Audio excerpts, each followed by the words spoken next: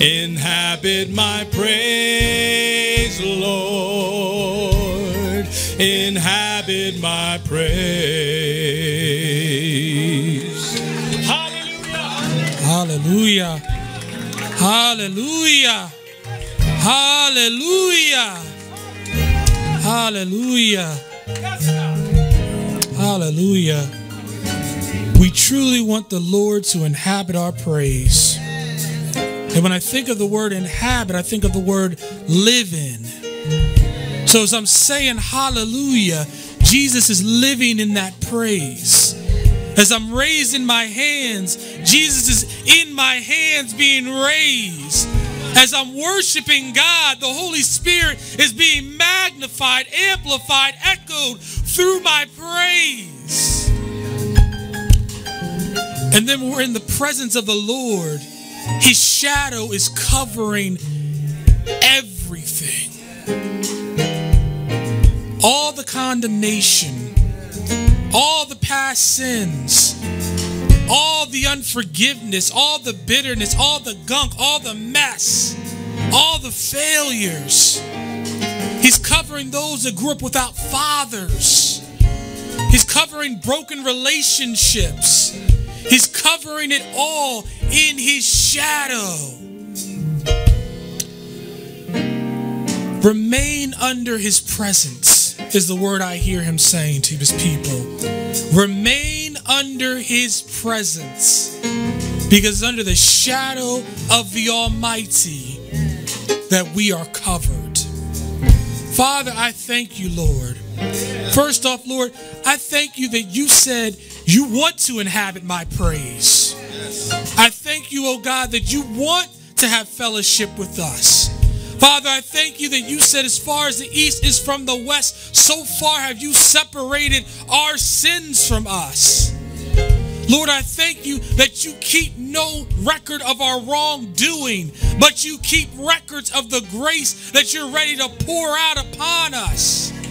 Lord, I thank you that you said you will give us a new heart, a new mind, a new spirit, a new body and you will give us a song of worship. But Lord, I thank you most of all as we worship you, you said that you sing over us. So, Father, sing renewal over your people. Sing strength over your people. Sing worship over your people. Sing joy over your people. Sing blessings over your people. Sing restoration over your people. And Lord, as the chains fall off, as the doubt falls off, as the sickness falls off, as the disease falls off, as all of it falls off of our bodies, let us truly be a temple of worship that you can inhabit and be magnified and glorified and worshiped in. And Father, transform us into the kingdom of God so that as you take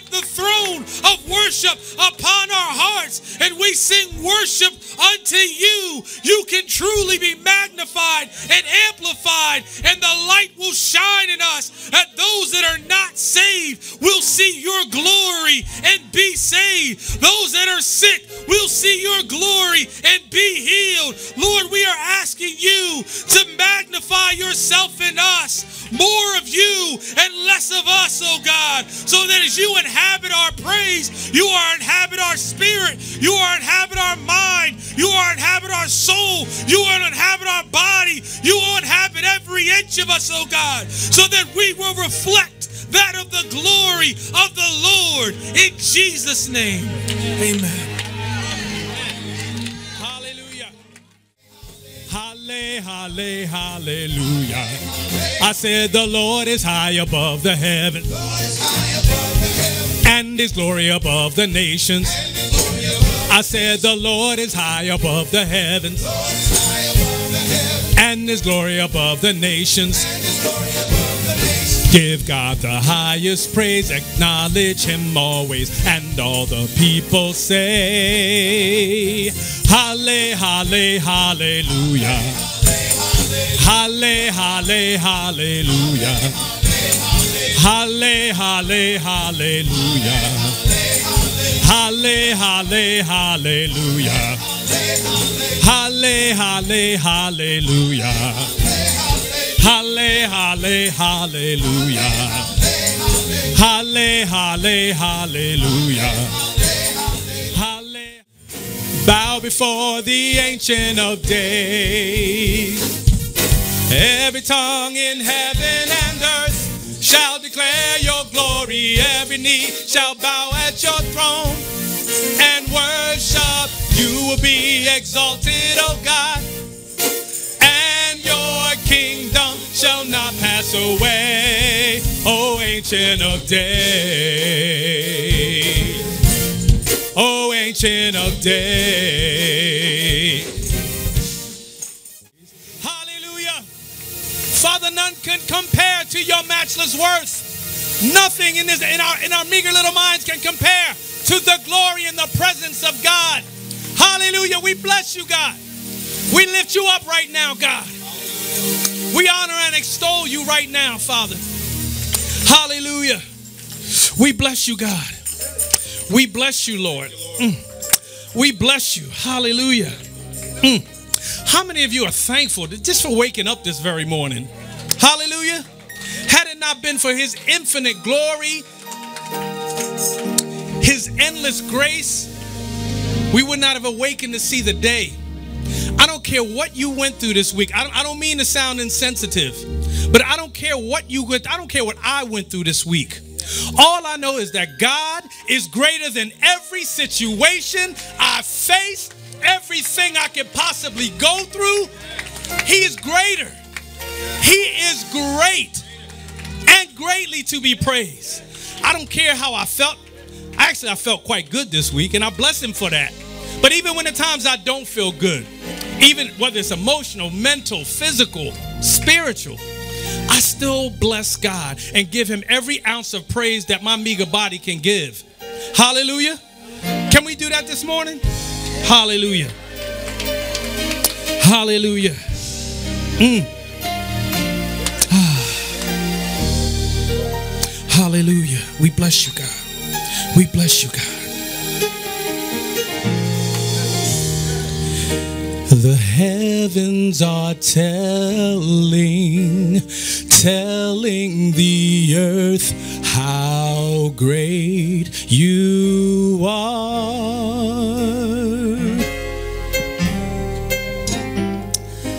And we are responding to your love.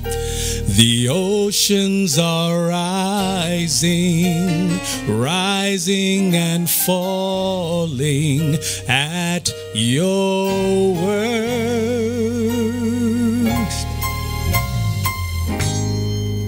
And we are responding to your love.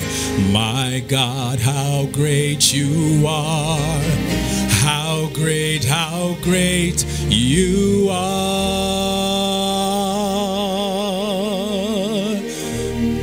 Hallelujah, how great you are! My God, how great you Hallelujah!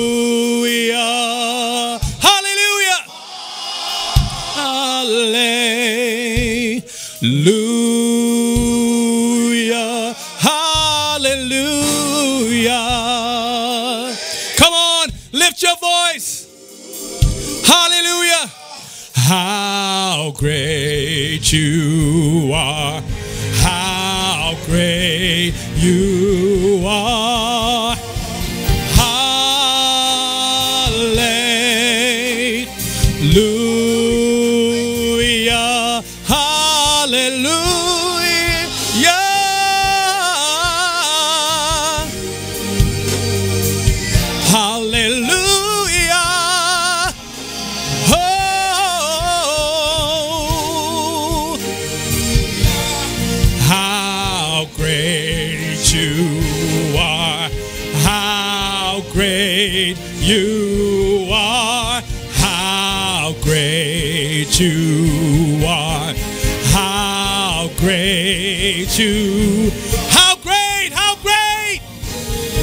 You are. How great you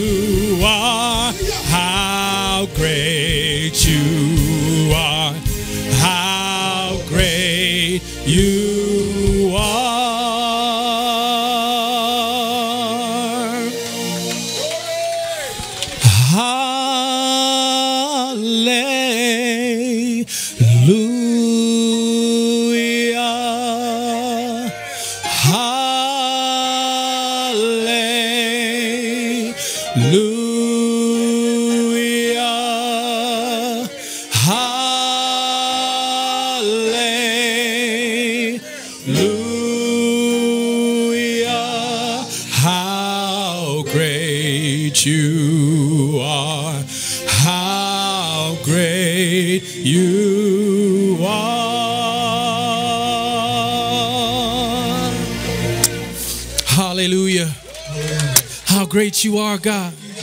How great you are, God. Hallelujah. You're Agnus Dei, Jimmy. Agnus Dei.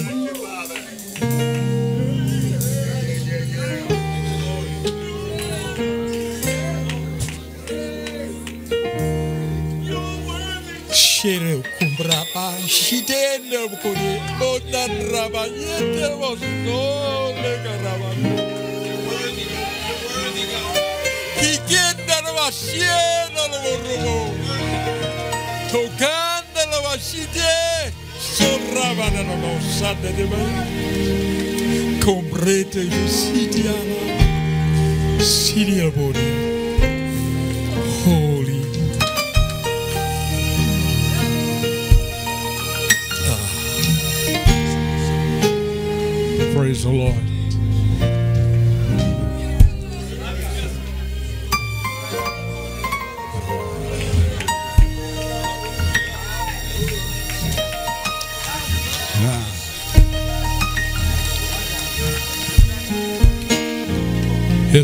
Presence is here. There's someone, someone here we want to especially pray for. She uh, runs a daycare in our community, but she's been struck with what the doctor said was MS. But we know God is a healer.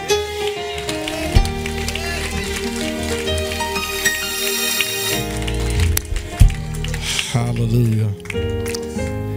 And she says she wants to come today because she knows a place that has the power of God in it. So I'm going to ask Donna Martin, would you come, sweetheart? And guess who brought her? Mike Hartsock's parents are here today. Y'all remember our beloved Mike Hartsock. He sends his love, by the way. So I want them to come. And I want our elders to come. In fact, if you are sick in your body, why don't you just come today? Stand stand with us. We know Jehovah Rapha. We know the Lord who is the healer. You come today. Intercessors, I want you to surround Donna. Lay hands on her. Elders, we're glad to have Sister Tasha back in our midst today. We're believing God for a complete work. Complete work. Come, elders. We're going to need some help. Come, ministers, intercessors. And just find an individual as the Lord lays, Lord leads you. Lay hands on that individual. And begin to pray. Father, in the name of Jesus, I pray for Donna in Jesus Christ's name. Thank you that you are Jehovah Rapha. Thank you that you are the Lord who heals. you have a destiny for her. You have a purpose. You are not done with her yet. And so I decree and I speak into her life right now. I speak a physical miracle. I speak your healing anointing upon her in Jesus Christ's name. We give you glory in advance. And I believe now you're touching her body in Jesus Christ's name because she is your child. She is a kingdom citizen. She has rights. You love her. And we claim healing for her right now in the name of Jesus Christ. In the name of Jesus Christ. MS, die. MS, die. In the name of Jesus. Let life come forth in her. In Jesus' name. Jesus' name.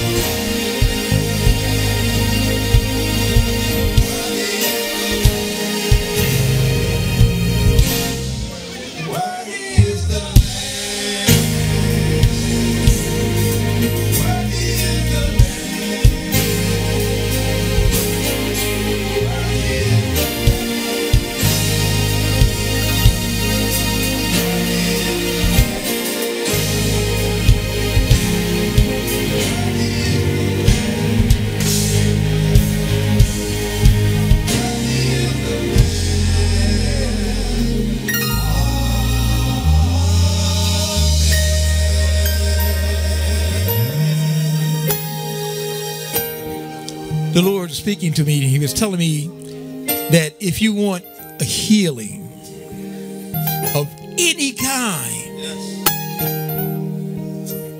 start worshiping Him.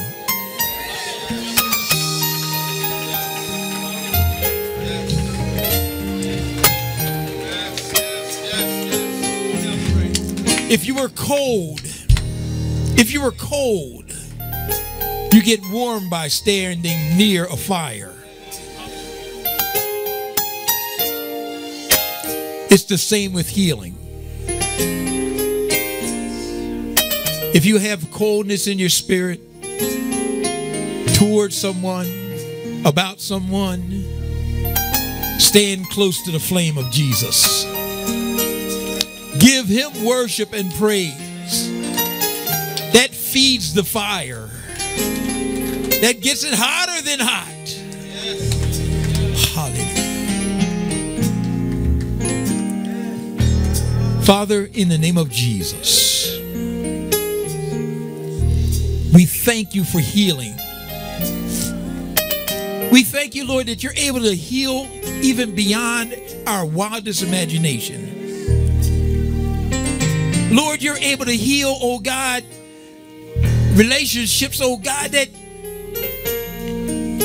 the person that you may have had the issue with has died. You're able to heal that, Lord. You're able to heal anything. Because healing, Lord, goes beyond life and death. Healing goes beyond ages. It goes beyond years and days and time. It, it, it goes, it has no limit. Because healing is in forgiveness. And you are the author of forgiveness. So, Father, in the name of Jesus, I speak, oh God, for those, oh Lord, that are under my voice that are desiring healing in their relationships. Father, in the name of Jesus, I command that enmity to die in Jesus' name. I command the enmity to die in the name of Jesus. You're cursed like that fig tree, and you will dry up from your roots in the name of Jesus.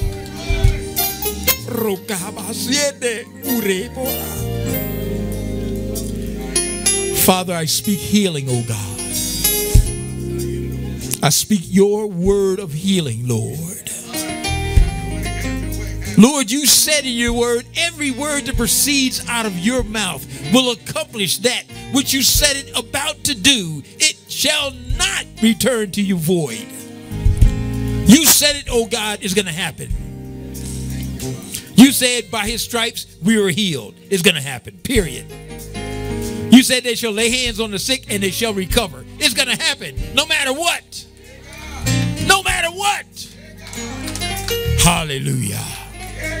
Hallelujah. Hallelujah. So, Father, we speak healing, oh God. Healing in relationships. Healing down in the deep, deep, deep places in the heart. The places, oh God, that it seems like we're hiding from the others. But Lord, you know we need the healing right there. So, Father, we open up to it, Lord, right now. Lord, we just open up every corner, oh God, that your healing can enter in and reign. Because healing is in your kingdom, oh God, and you are the king of the kingdom. So, healing has to reign in Jesus' name. Father, we're speaking your healing reign right now on Tasha Young and her mother. We're speaking your healing reign, oh God, in Linda Downey's body, oh God. And in Ashton Sebro, we command the healing to reign in his body. We command the healing to reign in Stacy Lunsford's mother's body in the name of Jesus. We command the healing to reign in Joe Walker's body in the name of Jesus. Father, we speak, Lord, your comfort, O Lord, your encouragement,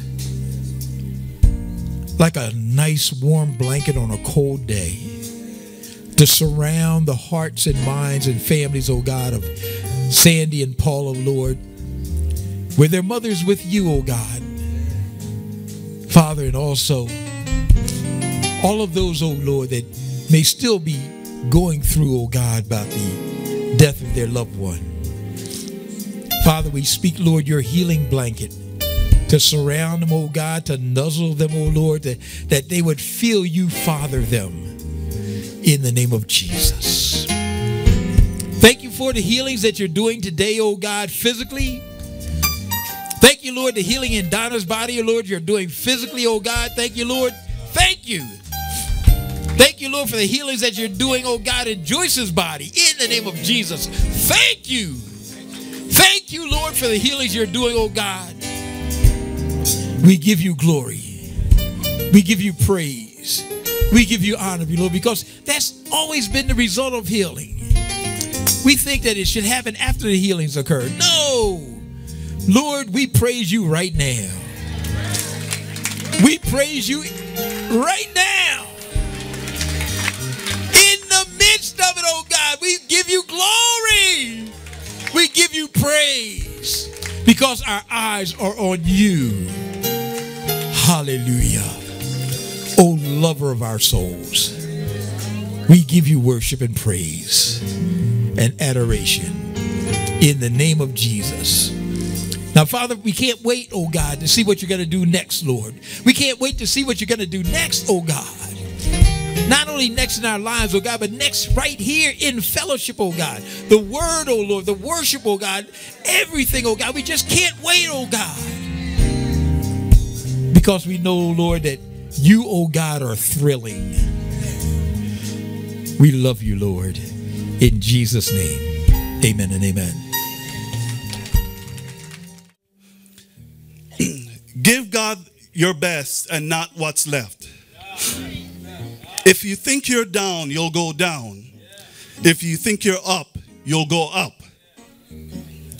Stop expecting your current job to fund your vision. When you bring your offering, have that expectation in your heart and in your mind that this current thing cannot fund my vision. It's bigger than that. Don't hold up, don't hold hold on to his, history and expect your history to expense up in expense of your destiny. Never make a permanent decision about your your temporary situation. In other words, the way you are now is just temporary. God is about to make a better situation permanent.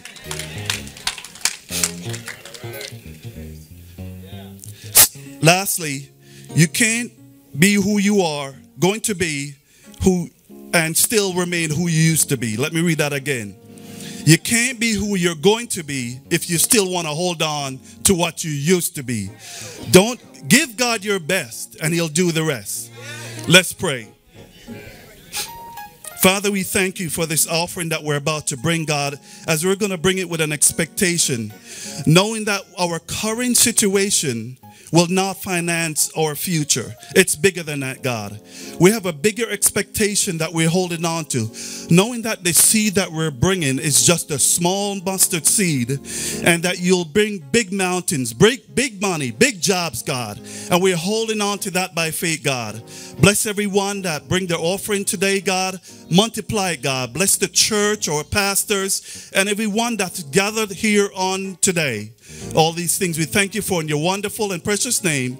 We say amen. And she's just going to have a few words. Um, I didn't want to say much. I just wanted to thank you guys. Thank you so much for your love, for all the love that you had given my brother. Um, thank you for the brothership that he had. And uh, it was if it wasn't for him, I wouldn't have met any of you. And I'm grateful to be here. And I'm just, just thank you so much. That's all I can say.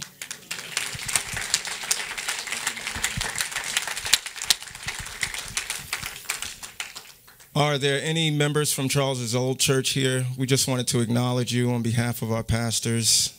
I heard that some may be attending. Thank you all for coming. Please know that we're still praying for you all as well.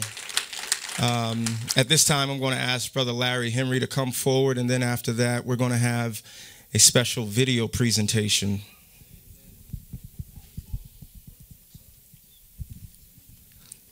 Good afternoon. And looking at Charles' picture, I got kind of emotional. That, that was my man. Um, I remember the first day Charles joined the church. Uh, we had after the church service, we had a, a, little dinner upstairs for the members and all, and we hit it off immediately. I don't know, it was just something about Charles, and we just really connected. And from that day forward, you know, he was a really good friend of mine. So I just want to just uh, thank Charles for being in my life. So in remembering Charles Halt, as we now as we now, now know this one year anniversary of the passing of our brother Charles Halt, uh, we like to take the time to remember a, a good son, a brother, and a father, of course, a, a good friend. You know, it's, there's a phrase that says, uh, gone too soon.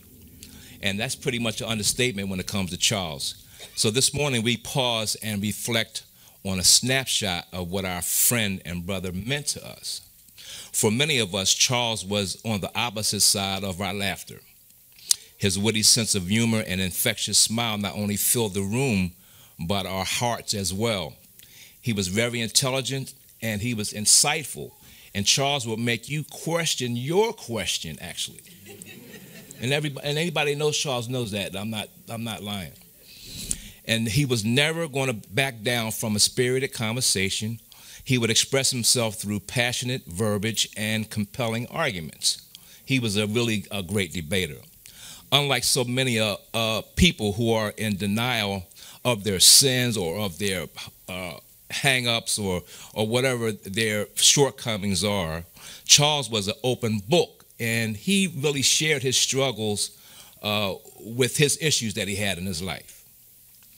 And he was he really had a good ability to speak openly about his experiences and he was and he had the determination to overcome his personal battle cause many to strive for a healthier drug-free christ-centered lifestyle his testimony will continue to enrich the lives of those we, that he crossed paths with and will be a constant reminder that we must work while it is, it is still day, and for when night comes, no man can work.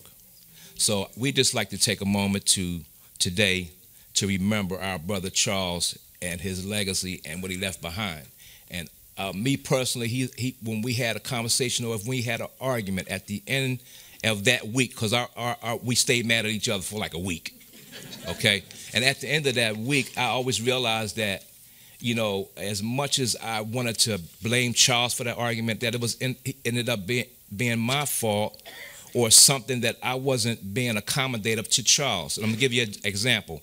Uh, in our first, one of our Path to Peace meetings we had last year, we all had a, had a, a moment to speak, and Charles uh, he had his time to speak, and everybody that knows Charles, he's long-winded. So Charles was being long-winded that day. So I jokingly uh, mentioned that to him, and and that whole time, you know, he smiled and grinned at me the whole time after it was all said and done. But I'm gonna tell you, after that session was over, he let me have it. I'm telling you. And for a whole week, we, you know, we, we, we were distanced from each other. But that moment, he made me realize when all the smoke cleared that, you know, maybe it was a time that I just I needed to back off from that and let him express himself because it was an important moment for him. So instead of me being, you know, saying, well, you know, Charles is just being sensitive, how about this? Maybe I just needed to back off off that time and just let him express himself like he wanted to because it was an important moment for him. And so that's what I got out of that. And that's the impact that Charles had over me and I'm sure over a lot of the brothers here. Thank you.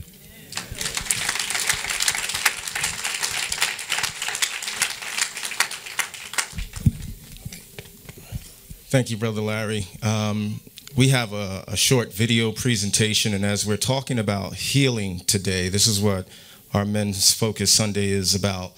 Uh, I want you to think about the relationships that need repairing in your life. Could be with your children, could be with your parents, siblings, friends, whoever it is. Please don't leave here without knowing that those relationships need to be healed. And if you're waiting for the other person, if they're waiting for you, guess what? Nobody's going to move.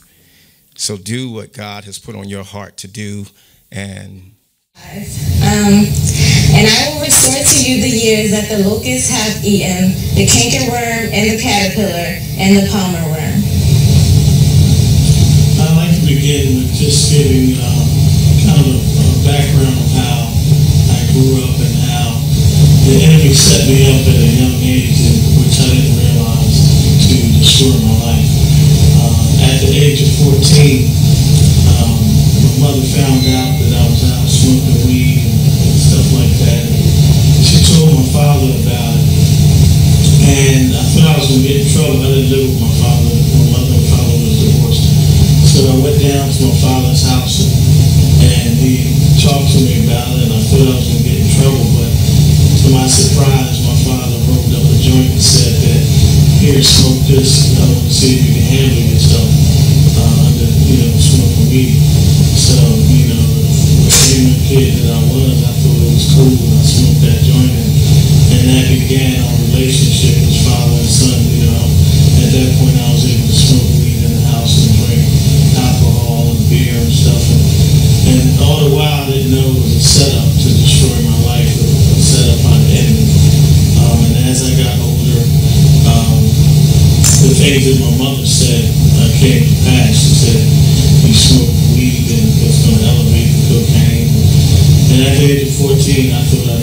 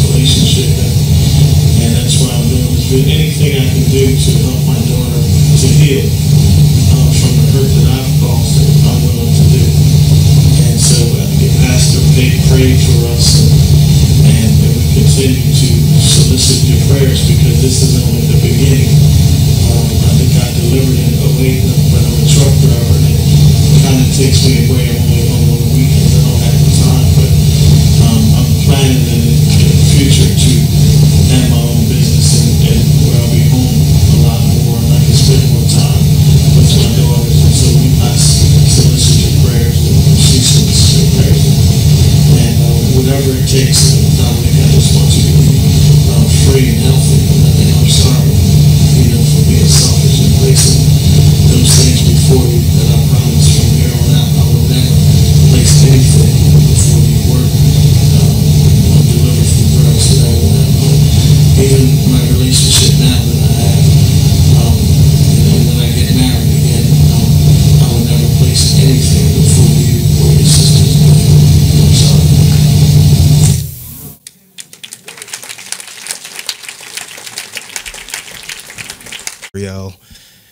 Rachel, and I'm going to ask Sonny, Brother Patrick, Elder Dwayne. We have a small presentation for them.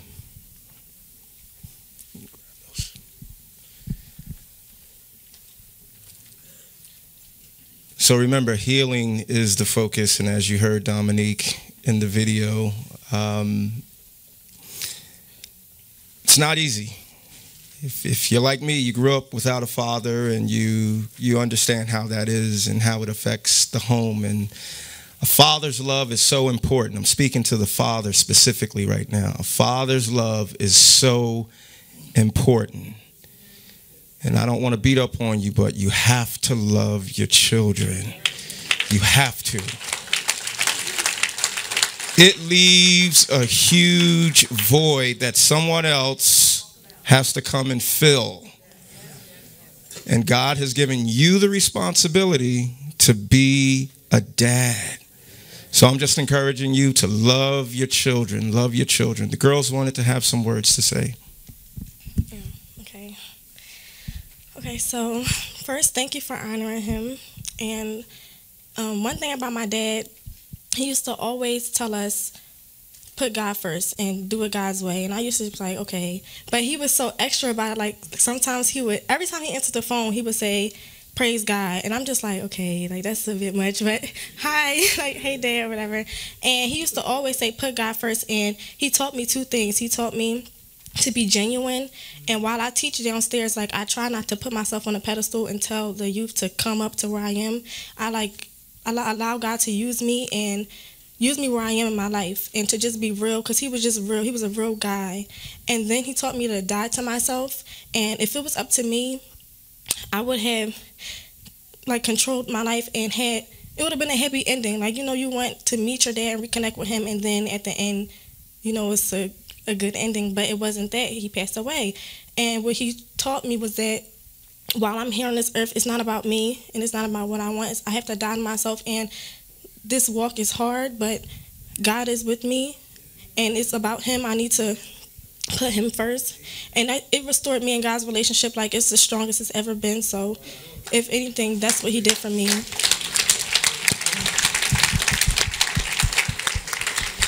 I'm just gonna keep it short, but uh, that video was four years ago, and I'm so glad we had that opportunity to um, really reconnect. I was so angry at my dad. And I think I explained that later in that video, but he humbled himself and he came and he did everything he could to restore relationship with me. And I'm so glad that happened because I didn't know he would pass, but at least we had time to, you know, make amends. And so that's it.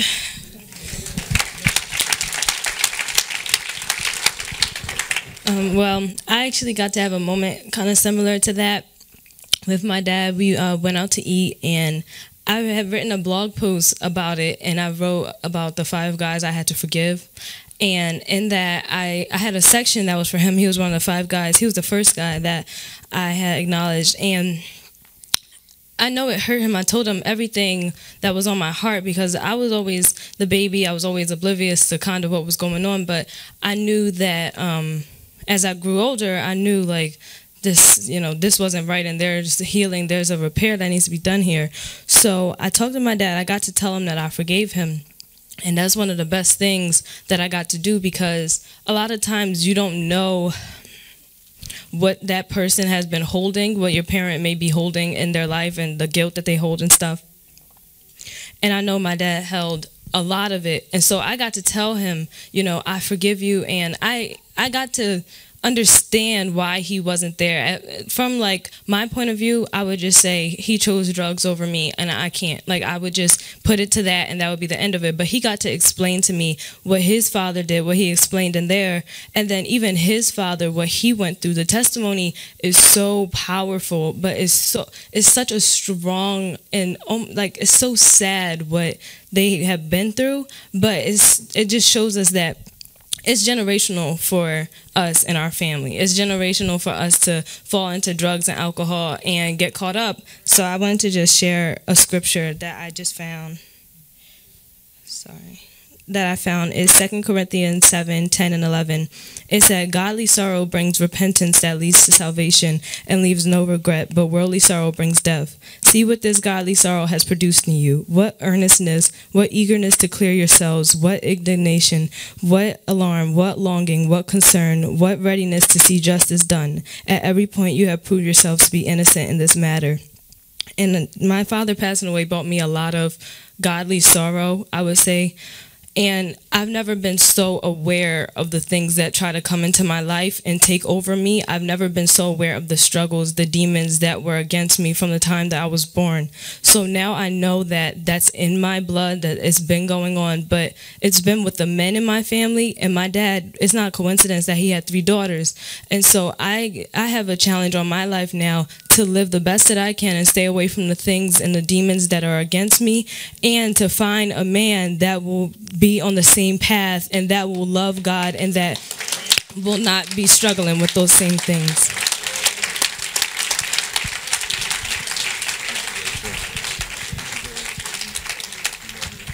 Um, Charles is not here to give his daughters flowers, but these handsome young men spent time with Charles every Saturday running. And we just want you to know, on behalf of our pastors, Elder Vince, Brother Rap, and the rest of the men here at FACC that we are appreciating you and we will look out for you.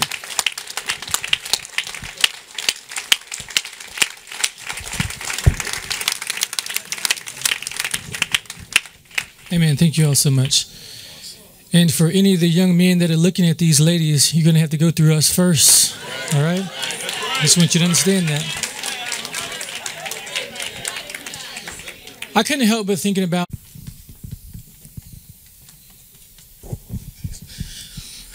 Praise the Lord. Praise the Lord.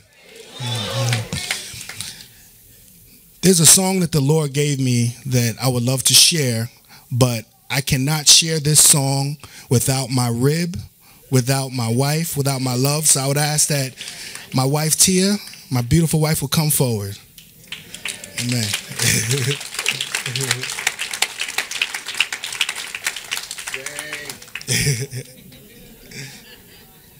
Is the mic on? how many people know that it matters how you start your day? There's a difference from when you just get out the bed and then you just jump on SEPTA and you didn't pray and you didn't spend time with the word there's a difference than when you when you actually wake up, you get in your word, you you, you pray, and you're covered before you leave the house. Amen. So this song is called My Daily Regiment, and it's about those good days when I don't forget to pray and read my word and enter the day properly. Amen. Praise God. You can start it.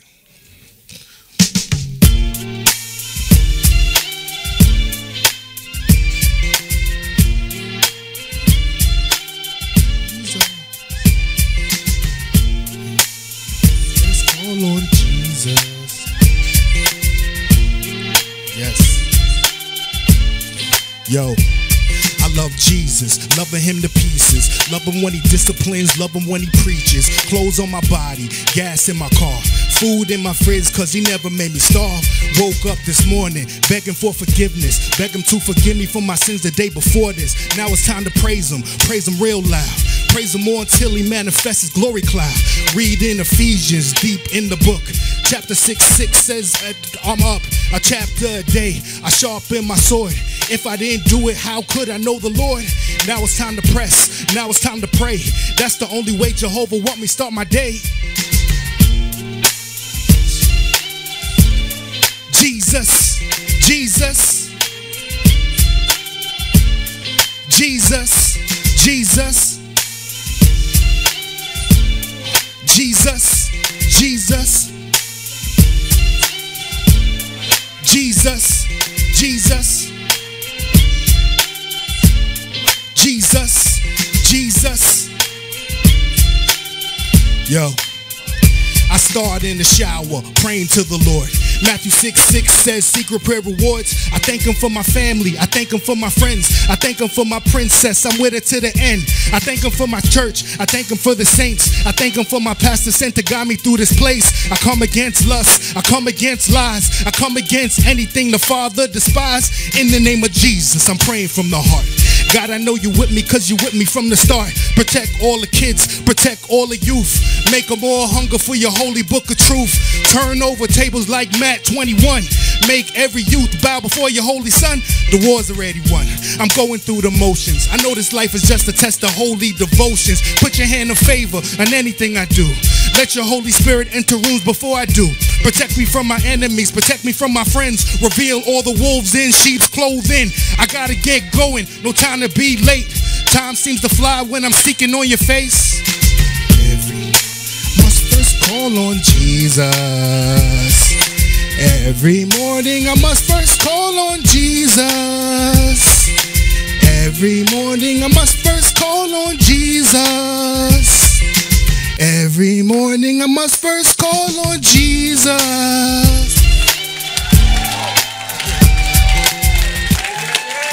Praise the Lord. Awesome. Awesome. I want to say that I miss Charles as well. What I liked about him was his honesty. And secondly, his insightfulness. So I'll miss that. I talked with him many times. How many of you love the Lord? Well, let me say that again. How many of you love the Lord?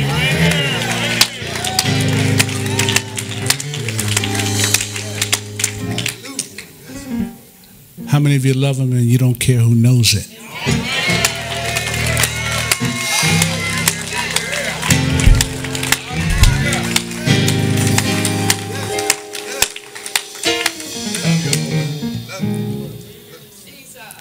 I'm going to try this. I don't know how much I'll get through it. Um, Patrick, where are you? Patrick Pika.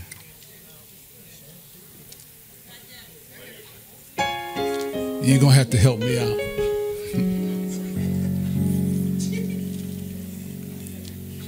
If I mess up, somebody just pick it up and take it on, take it on in. Jesus, you're the center of my joy.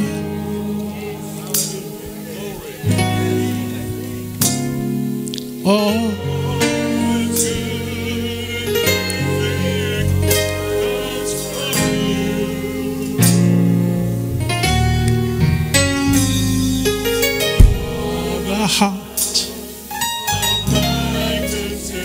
Sing it, brother.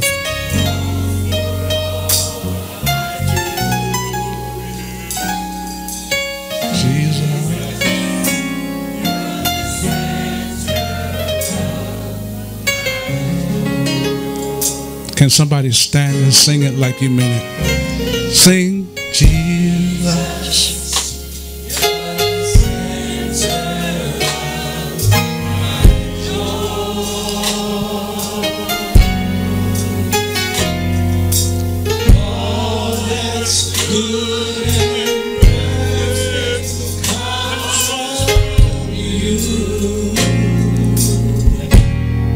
Heart of my contentment.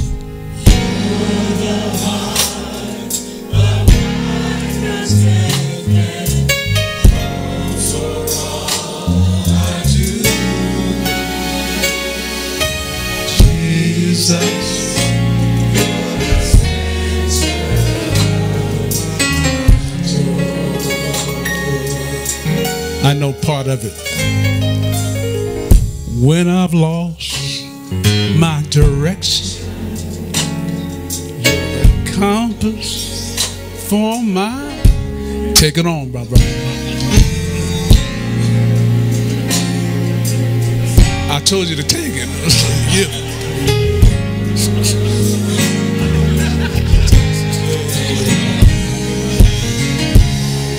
You know, you know. You're the.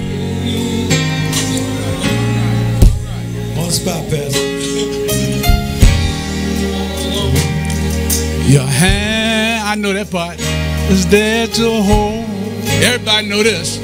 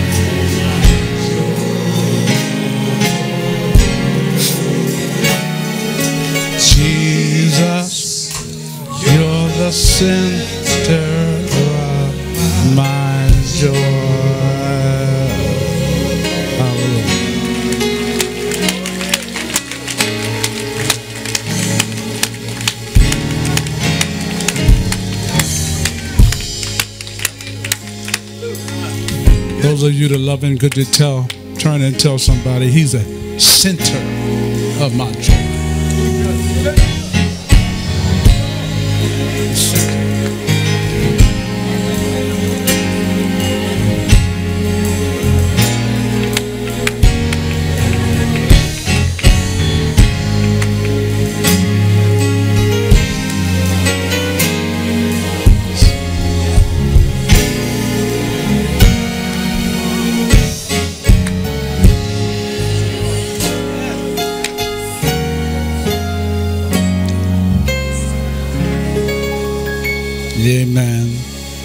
Amen.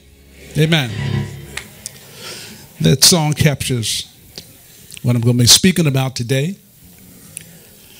Uh, because we're still talking about the kingdom. And the last time I talked about entering the kingdom, there are three steps to creating kingdom culture. Let me stop for a moment before I get into my message. I just want to take the time to acknowledge Sister Melissa.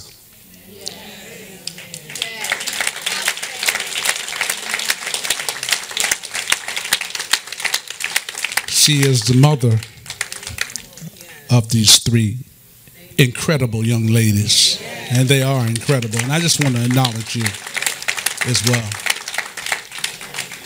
And again, I want to acknowledge the Heart Socks here today.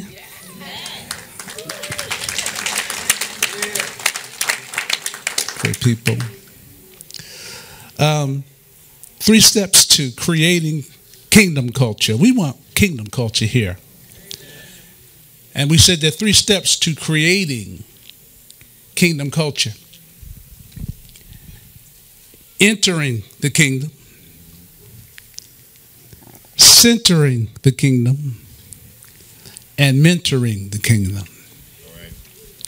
We talked about entering the kingdom the last time we spoke.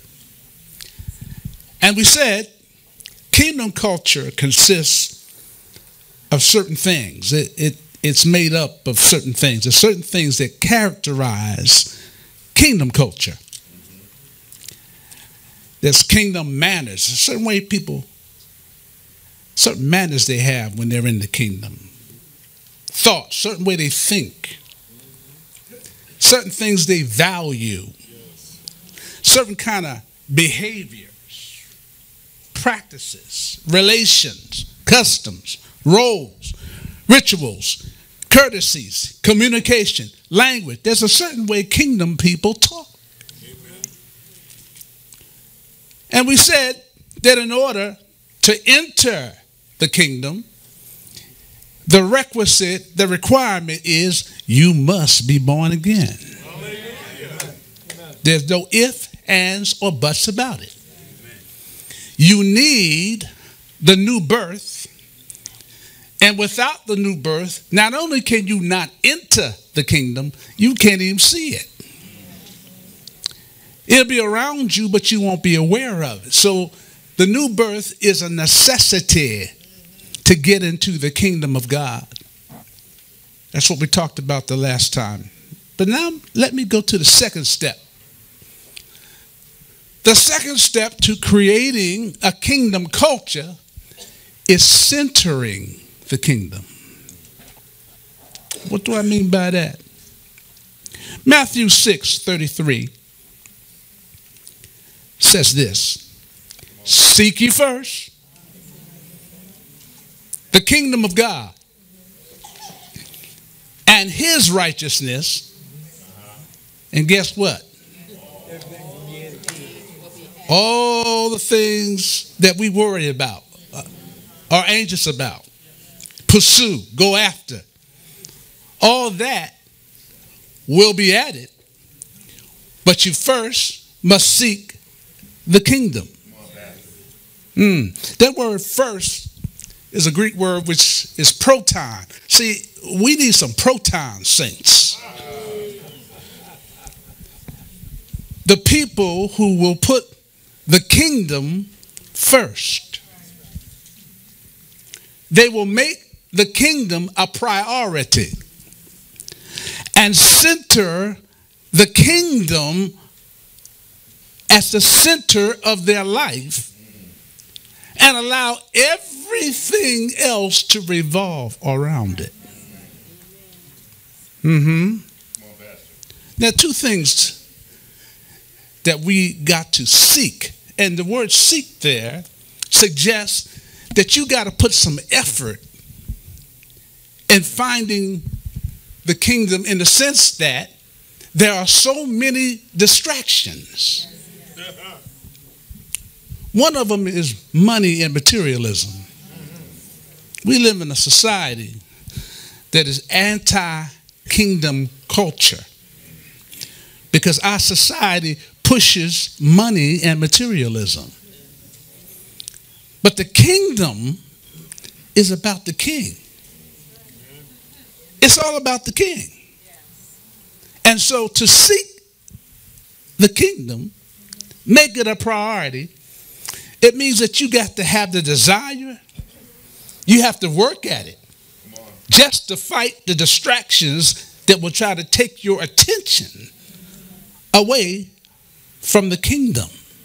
There are multiple distractions. And when something is the center, that's the point from which an activity process is directed or focused. When the kingdom becomes the center of your life, you want to be directed from that point. That means your attitude is I want the king to tell me what to do. I want the king to tell me where to go. I want the kingdom to tell me who my husband is, who my wife is going to be. I want the king to tell me what job I should have. Every major decision in my life starts with the kingdom and the king. Unfortunately, in this society, that's not the case. And unfortunately, this society, which is anti kingdom, pushes prosperity. Even churches are pushing the prosperity gospel. And as a result of doing that, we have created Laodicean Christians. Seven churches in Revelation 3. The last church is supposed to represent our age. Interesting, because of all the churches mentioned in Revelations, the harshest criticism was our age, the church of the modern era. Let me tell you what God says about the church of the modern era. He says, You make me sick. Wow. For the Lord to start off with that, He's not talking about true, true Christians, He's talking about the institutional church. He says, You make me sick. You make me want to vomit. He says in Revelations 3, I know you inside out, and I find little to my liking. You're not cold. You're not hot. Far better to be either cold or hot. You're stale. You're stagnant. You make me want to vomit. Why, Lord? Because you brag, I'm rich. I've got it made. I need nothing from anyone oblivious that in fact you are pitiful, blind. You're a blind beggar, threadbare, and homeless. Wow. Modern Christians are like the church of Laodicea. They're materialistic consumers. They seek Christ for the fish and the loaves. They go after what Christ gives, but not who Christ is. Laodicean church. We've breeded Laodicean Christians because of that. What we ought to be seeking if we're going to make the kingdom and the king the center of our life is there two things that he says that we have to seek. Number one, we have to seek the kingdom, and number two, his righteousness. His righteousness. What does it mean to seek the king? Kingdom, excuse me. It means seek the king. It means once you find the kingdom, you will find the king. Because guess what? The kingdom comes with the king. They're inseparable. It's not like you go after the kingdom and leave the king. Oh, no. They are inseparable, they are synonymous. Where you find the kingdom, you will find the king. And where you find the king, you will find the kingdom. The kingdom is his domain. And guess what? His domain comes with his reign. His realm comes with his rule. The prince comes with the province. It means that you acknowledge that he is in charge. He gives commands, not suggestions. Oh, Lord, help me. Most of us want to negotiate with the Lord. we think that we have a choice in what he says. Not so. Mm-mm. It means that you acknowledge and accept he is Lord. He's the Lord of my life. He's the sovereign of my soul. He's the monarch of my mind. He's in charge. He gives commands. He's the authority. Therefore, people who have problems with authority are going to have problems with kingdom culture. Because in the kingdom, the king has the final say. Not you, not your mama, not your daddy, not even your pastor. The king has the final say. Oh, just in case somebody forgot that, turn them, remind them. The king. The king has the final say.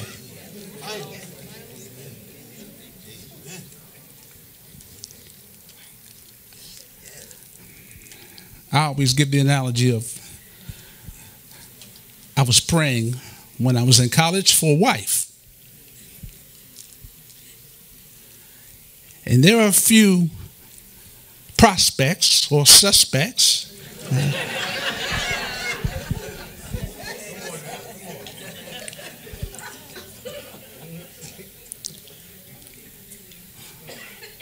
But when you seek the king's agenda,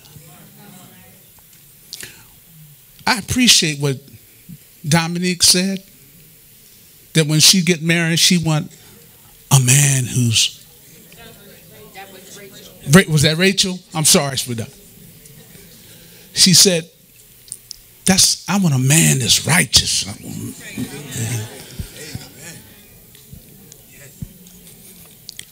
The only way for you to get that kind of man is to seek the king. because there was a young lady that I was about to get involved with, and the Spirit of God said, No! There are times when God has to shout. Can you hear me now? When I look back 40 years, I am so glad that I listened to the King.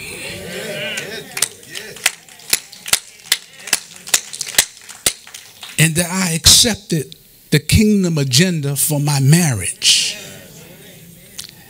And I shudder to think what would have happened had I married that other thing.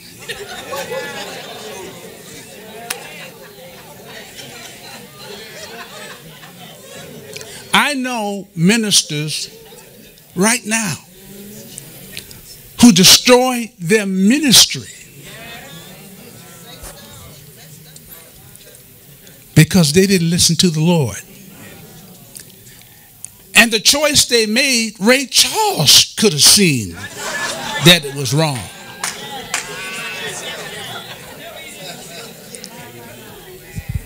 It pays to listen to the king.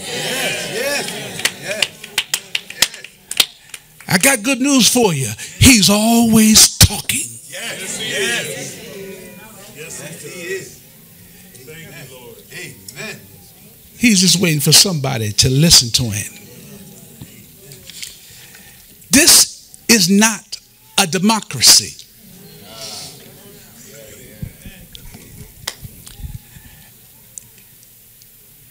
Democracy consists of three branches, at least the American democracy.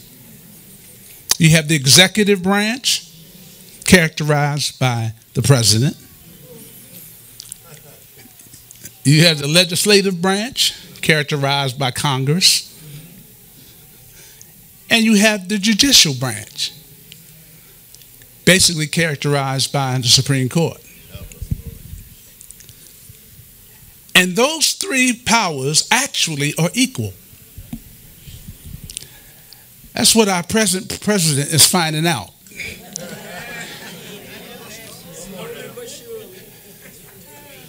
He's finding out that he's not the king.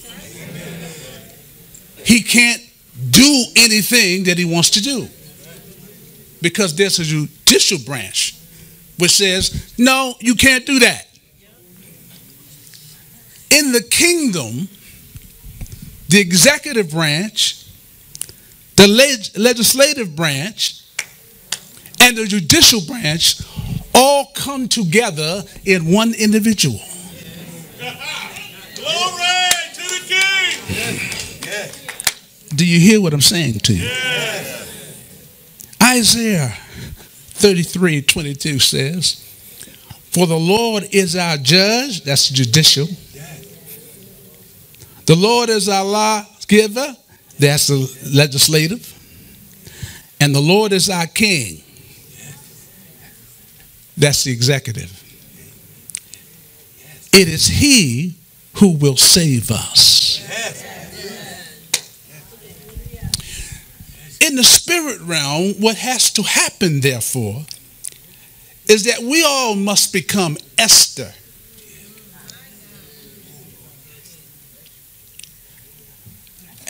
The Esther story is a beautiful picture of Christ and his church.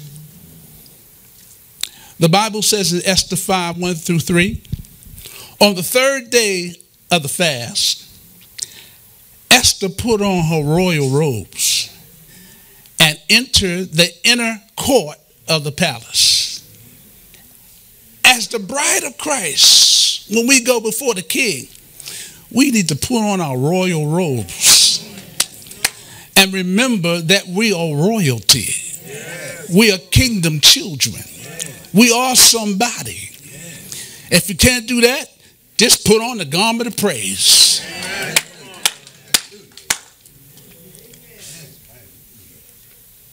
She went in to the king's presence. And what I liked about it, she said, If I perish, I'll perish. But guess what? I'm going to see the king. In other words, she came boldly. Every now and then, you got to say, Look, I'm a kingdom citizen. I'm a kingdom child. I'm coming boldly to the throne of grace. I have a right to be here.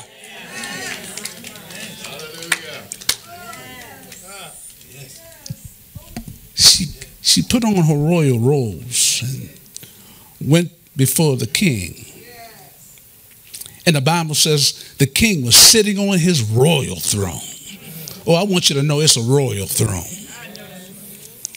And he was facing the entrance. In other words, he could see who would come into his presence. And when he saw Queen Esther, let me put it another way. When you come into God's presence, when he sees you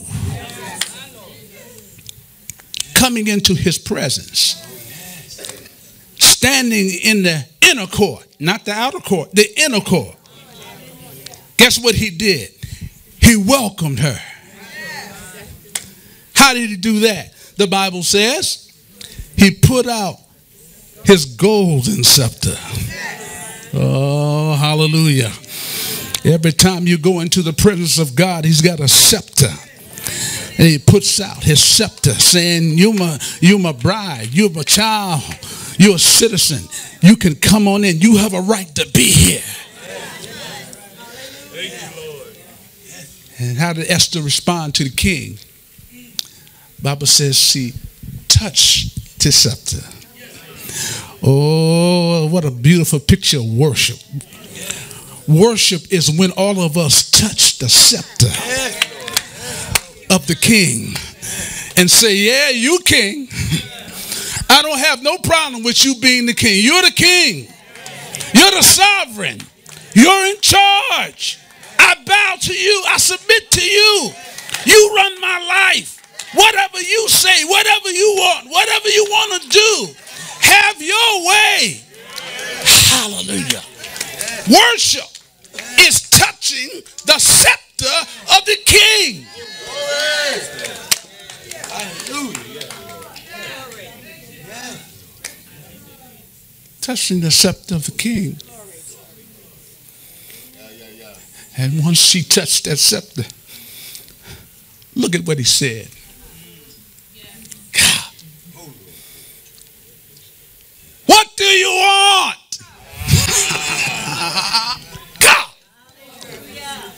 If we ask anything according to his will, he hears us. When you touch the scepter, when you worship, when you let him know he's in charge, when you know you love him with all of your heart, his response to you is, What do you want?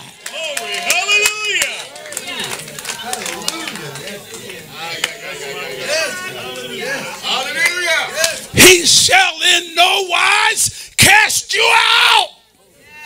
Tell me what you want. You can have it. Up to half of my kingdom. Look at here. It is the Father's good pleasure to give you the kingdom. You're not bothering him. You're not getting on his nerves. He wants you to have it. He wants you to have healing. He wants you to have deliverance. He wants you to have prosperity. He wants you to have it. My God, my God, my God. Yes. When my bride comes in my presence, I'll give her what she wants. Hallelujah. Tell somebody I'm part of the bride. God don't give me what I want.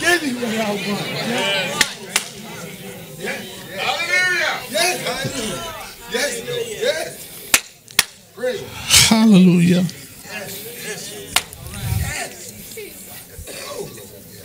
That's what happens when you center the kingdom. When you make the king and the kingdom a priority. You've got to seek his rule. You've got to seek to make him in charge. You've got to say, Lord, I yield my entire life, my aspirations, my ambitions, my direction, my destiny. It's in your hands. Whatever you say, whatever you want, do it, Lord.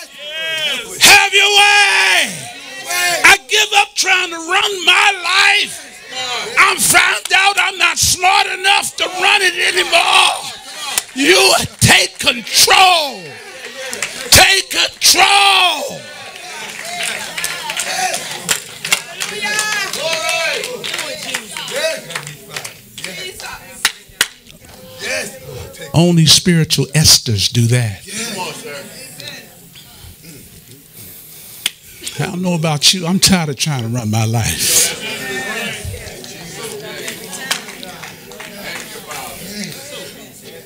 Stuff up here is getting so bad.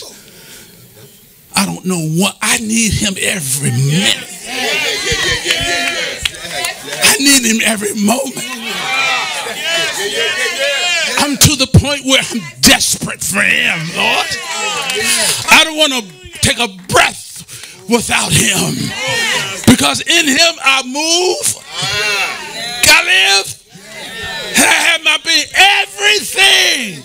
Everything. Yes. There's some situations I get in, you can't help me. The lawyer can't help me. The doctor can't help me. The only hope that I have is in Christ Jesus. I've got to look to the hills from whence cometh my help and recognize that my help cometh from the Lord.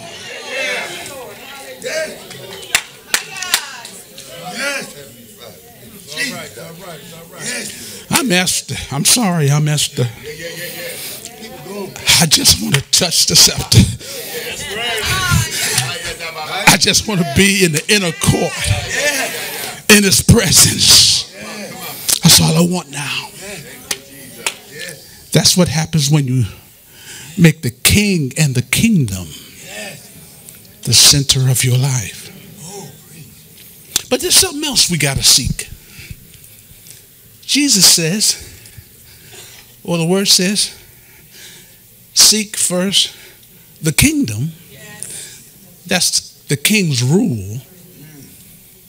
But it says something else. His righteousness. Wait a minute. Seeking his righteousness suggests there must be some other kind of righteousness.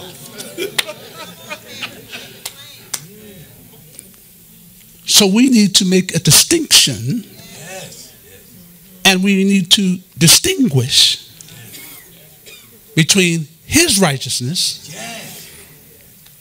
and some other kind of righteousness. Philippians 3 9, modern King James Version says, Be found in him, not having mine own righteousness, which is of the law, but that through the faith of Christ, the righteousness of God by faith. Mm. 1 Corinthians 1.30 reminds us Christ has been made unto us righteousness. Hmm. Christ. How many of y'all got Christ? Let, let, let, let, me, let me say that again. How many of you have Christ? The book says he has been made unto us. One of the things is righteousness. You already got righteousness. It's in you. We need to stop praying for stuff we already got. Lord, may be righteous. I'm in you. I'm on.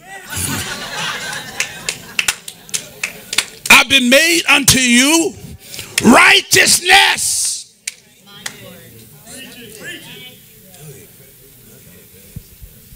Righteousness. Romans 5 1 reminds us that we have been justified by faith. Let me help you. That word justified in the Greek means we have been declared just or righteous. That God, through Christ, gave us the final verdict on who we are. We didn't get what we deserved. That's right. You know I did. We got what Jesus preserved. Oh, God. He gave us righteousness. But there are two other forms of righteousness that we have to get rid of self righteousness. And the second one is man made righteousness. Because self righteousness leads to self deception, religious pride, and holier than thou attitude. Let me help you out. You ain't all that. I don't care how big your Jesus is coming button is. I don't care. How many bumper stickers you got on your car that says Jesus is the it doesn't matter.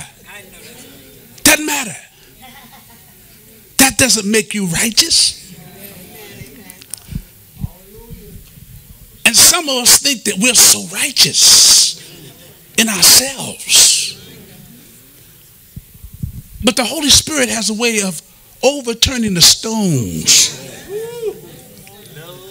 in your life and show you all the ants that are running around under there.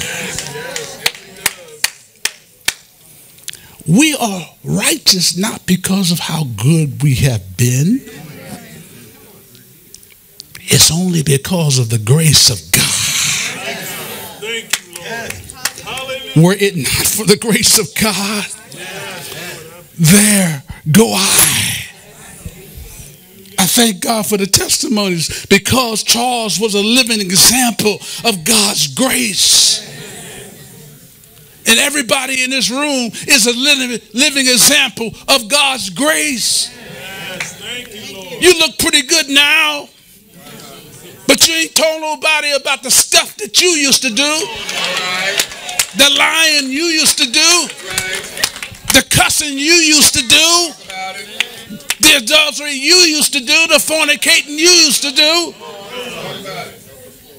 But I like the king because he can pick you up. The old folks say, and turn you around.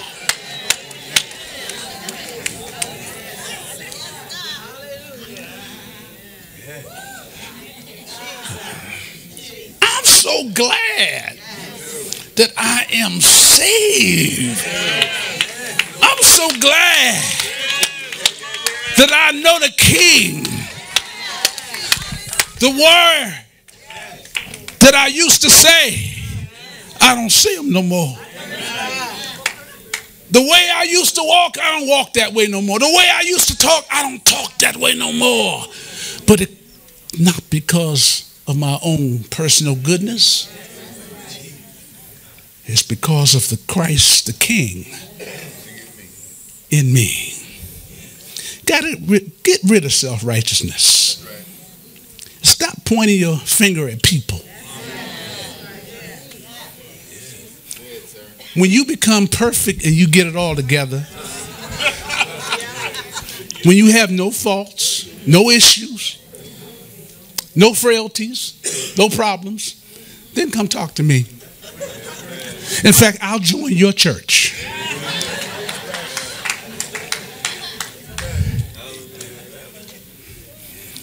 But as long as you remember how you got saved, why you got saved, and who saved you, you'll spend the rest of your life just thanking God for his mercy and his grace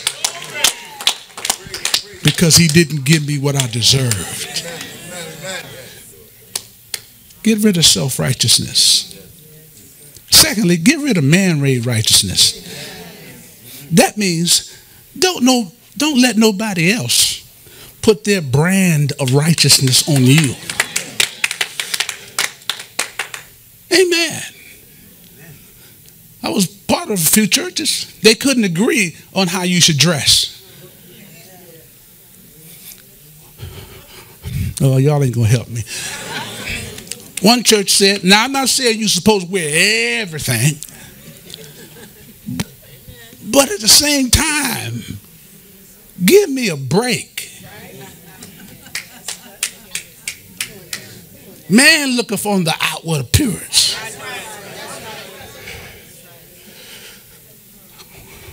One church said, you got to wear your dress down here. Next church gave you a little bit of leeway. Say, oh, you can we can wear about this length here, but you can't wear but black. I know black is beautiful, but but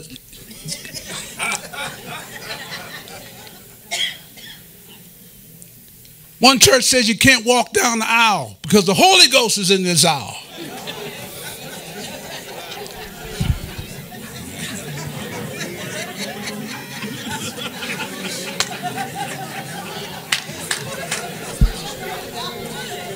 You you at a church and the Holy Ghost is only in one aisle? So if I had a heart attack in that aisle, y'all would have to drag me to. I want a church where the Holy Ghost is in every aisle. The right aisle, the left aisle, the middle aisle. He's in the bathroom. He's in the closet. I want a church where the Spirit of God permeates every room. Come on, come on, come on.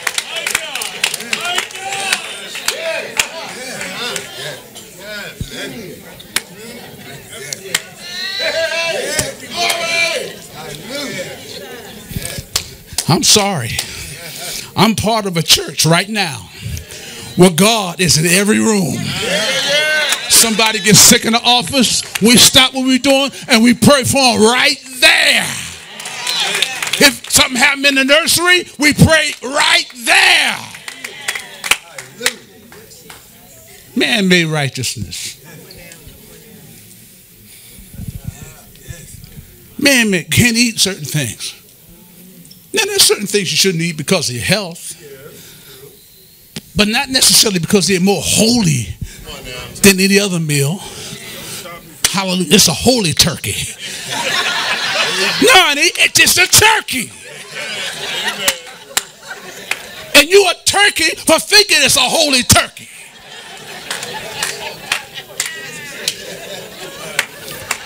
Holy spare ribs. Now I know that's a lie. You know them spare ribs ain't holy.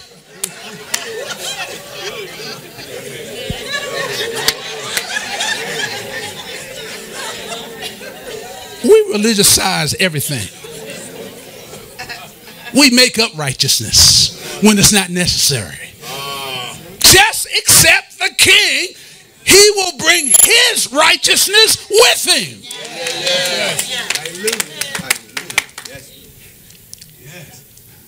I'll be done in a minute. No, I'm not. Y'all don't, don't want me to take my time. Funny thing. Funny thing. The word righteousness in the original language is synonymous with justice.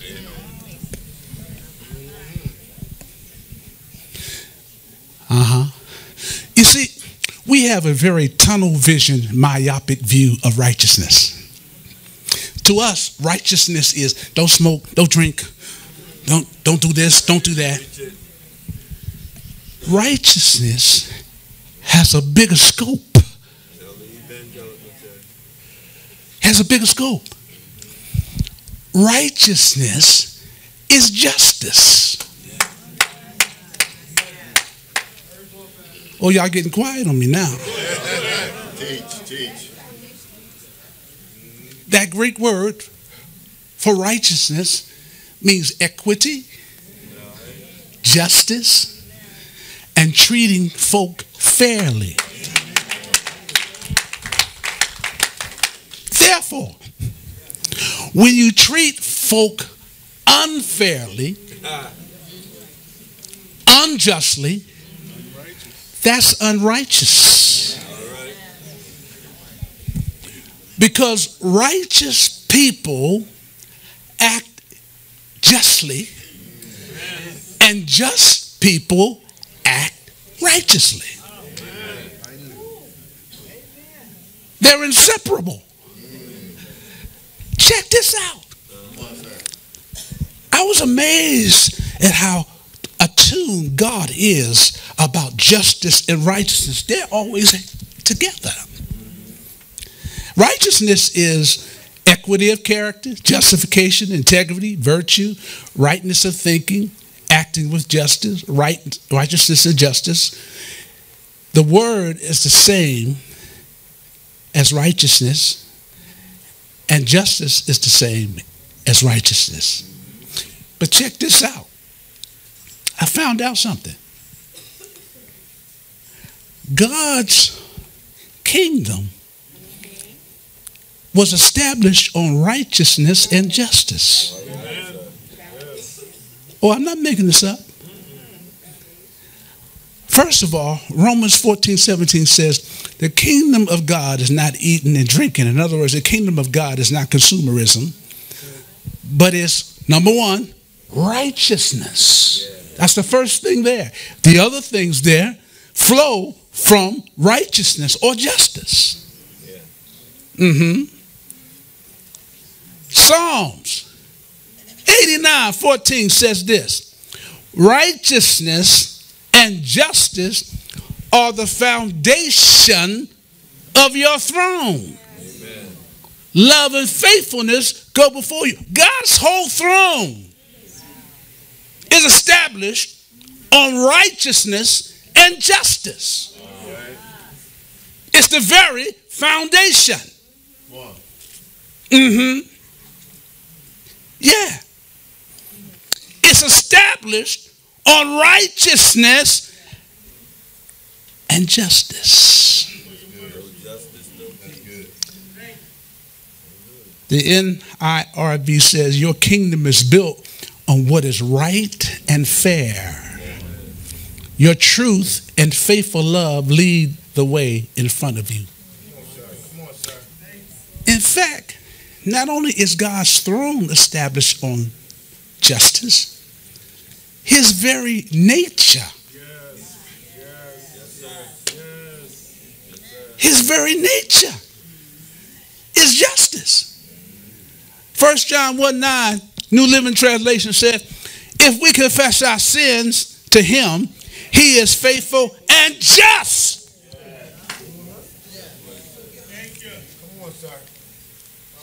Justice is the action, just is the person. He's just. Isaiah 30, 18 says, For the Lord is a God of justice. How blessed are all those who long for him. Isaiah 61, 8 says, Oh, here's God's own testimony. For I, the Lord, love justice. Psalms 146, verses 5 through 7. Watch this. He gives justice to the oppressed. I ain't making this stuff up. And food to the hungry. The Lord frees the prisoner. And then Jesus gives the justice agenda in Luke 4 18 through 20. He said, The Spirit of the Lord is on me. He has chosen me to tell the good news to the poor. He has sent me to tell the prisoners they are free and to tell the blind that they can see. He sent me to free those who've been treated badly. This is the ERV translation. Those who've been treated badly, I came to free them. God's kingdom and throne are established on righteousness and justice. If that is the case, it gives new meaning to the prayer, Thy kingdom come. Yes, yes, yes. Thy will be done. Because his kingdom is established on righteousness and justice. Unrighteousness, and I'm closing, unrighteousness is basically injustice we do to ourselves or others. Smoking, drinking, taking drugs. That's simply the injustice you are doing to yourself.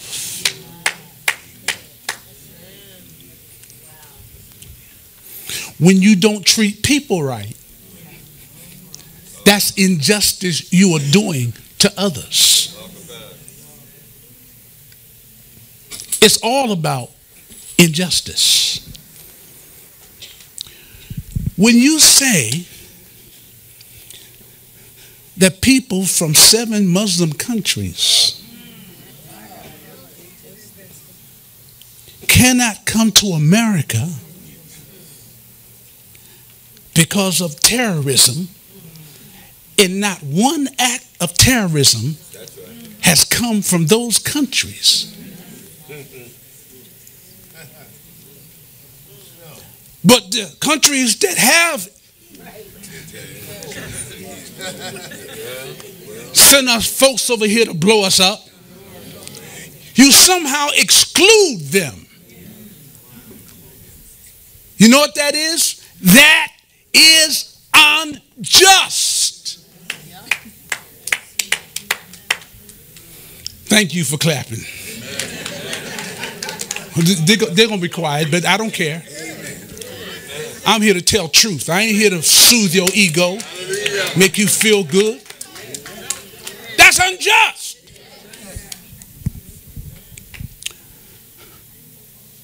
two weeks ago, I believe it was two weeks ago, Elder Ferguson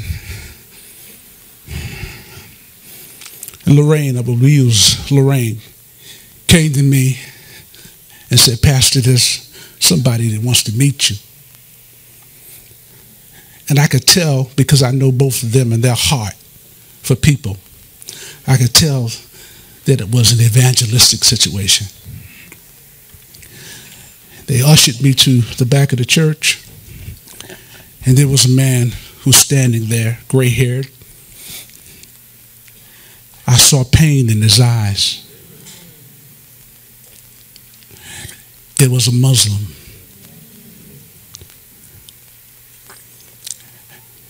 He said, Pastor, I'm a Muslim, but my son is a drug addict.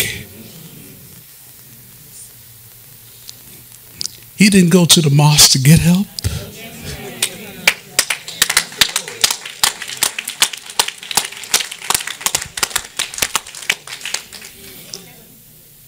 He knew where to go to get help. And when I grabbed his hand, I felt his pain. It brought tears to my eyes. Do you think I cared that he was a Muslim? I saw a soul that needed Jesus. I didn't care if he worshiped Islam. I didn't care about that. How is he going to find Jesus if he doesn't see the love of God in me?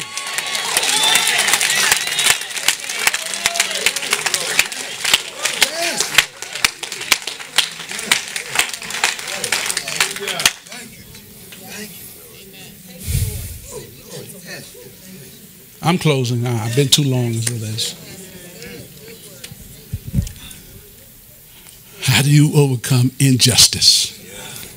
Very simple. But doing justice. See, Martin Luther King had it right. You don't overcome racist violence with violence. That only escalates violence. It's what Jesus meant when he said, turn the other cheek, go ahead and turn it. Some of y'all say, yeah, but he didn't say that that was between a right cross or up. That is what he meant. You overcome injustice with justice. You overcome evil by doing good. We can't bury our heads in the sand and act like, oh, there's nothing we can do. You're a kingdom citizen. What do you mean there's nothing you can do? Your job is to take dominion of the earth. I'm going to give you three things I'm closing you can do pray it, say it, and display it. Amen.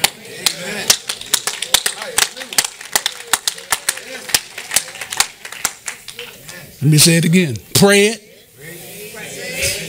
say it, and display it. Oh, stand on your feet and turn to somebody because they might not have heard what I just said. You pray it, display it.